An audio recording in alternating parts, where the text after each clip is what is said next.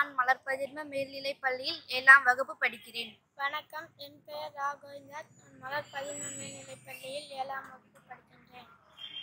ஓரெழுத்து ஒரு மொழிகள். நாற்பத்தி இரண்டு ஆ இ உ ஏ அன்ப.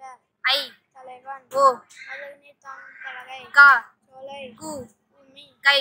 ஒழுக்கம். கோ. அரசன். சா. இழந்துப்போ சி. இகழ்ச்சி சே. உயர்வு. சோ. மதில் தா கொடு. தி. நெருப்பு. து. தூய்மை தே. கடவுள். தை. கைத்தால் நா. நாவு. நீ. முன்னிலை ஒருமை. நே. அன்பு. நை இழிவு. நோ. வறுமை. பா. பாடல். பூ. மலர். பே. மேகம். கை இளமை. ஓ. செல். மா. மாமரம். மீ வான். மு. மூப்பு. நே. அன்பு. மை. அஞ்சனம். நோ மோத்தல். யா. அகலம். வா. அழைத்தல். பி மலர். வை. புல். கவர்.